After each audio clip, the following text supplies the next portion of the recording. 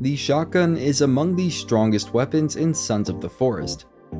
Getting this mighty gun will require the shovel, which is a whole process unto itself and is one that I've covered fully in a dedicated video.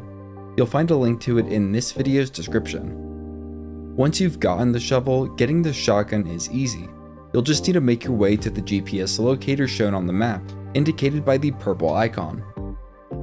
It's at one of the island's corners, a short distance from the cave where the rebreather is found. Here is the icon shown on the full map of the island for anyone having trouble locating it from their position. The GPS locator and shotgun are both buried in a shallow grave marked by a wooden cross. Use the shovel to dig it up and make sure you are digging in the right area. In my game, the coffin containing the shotgun was beneath the autumn leaves.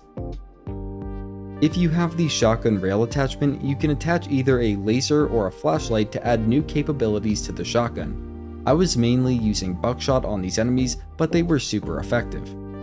If you want to see more great guides, you can head over to my channel, and if you're new, consider subscribing. You're helping me feed my cat, her name's Marshmallow. Have a great day, if you're here today, have a great Friday, and a great weekend.